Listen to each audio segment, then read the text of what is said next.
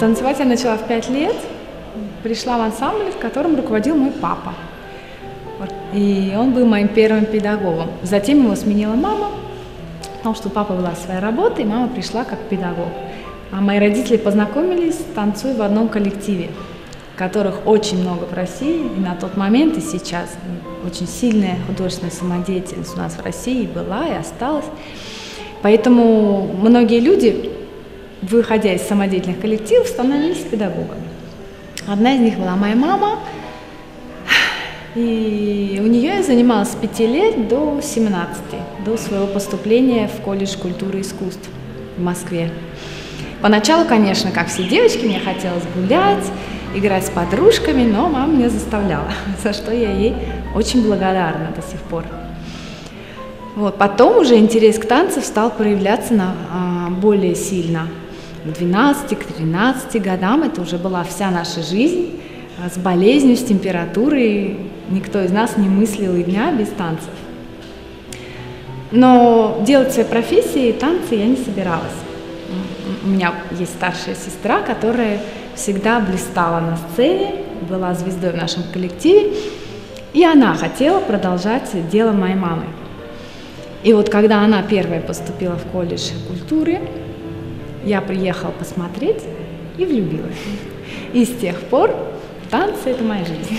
После колледжа искусств, где мы учились три года, где я проучилась три года, с 17 до 20 лет, мы там занимались с 9 утра до 9 вечера, а, изучили огромное множество материй, нас учили и быть артистами, и в то же время быть педагогами.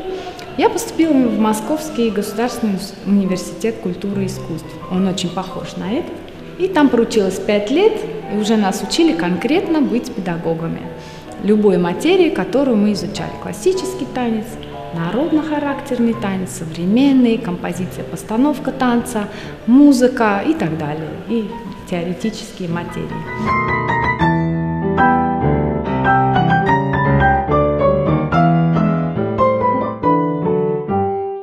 Любой человек, я, конечно же, скучаю по своей семье в первую очередь, по маме, по друзьям, по родным местам.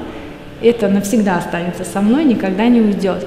Но, тем не менее, а, я влюблена в, в аргентинских людей, в их открытость, в их улыбчивость, жизнелюбие. Этому они могут научить любого русского. Очень здорово. И этот городок Рока, он очень похож на тот, где я выросла. Поэтому я здесь чувствую себя очень комфортно.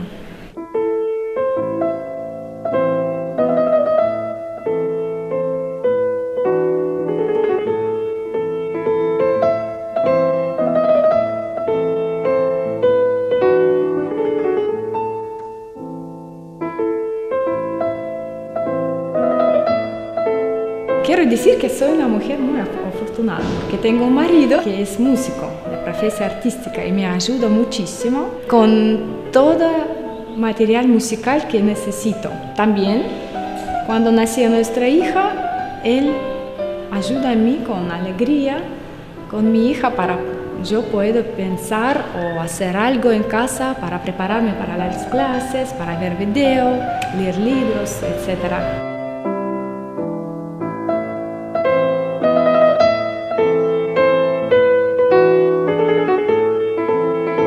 Su país es bastante duro, no voy a mentir.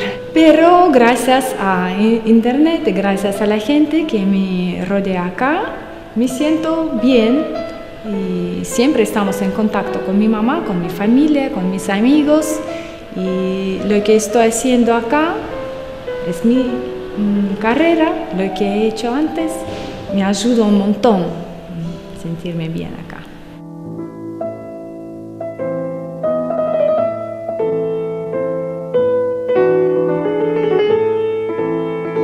Cualquier profesor es una alegría enorme cuando alguien de alumno o todos alumnos uh, logran algo que antes no lograron. Para mí, más importante que ellas se sienten alegría y un amor a lo que están haciendo. Y piensan, ah, antes no pude hacer esto y ahora sí logro. Eso es más importante para mí. Me siento orgullosa y agradecida a mis alumnos, a todos. Yo enseño a ellas, ellas enseñan a mí.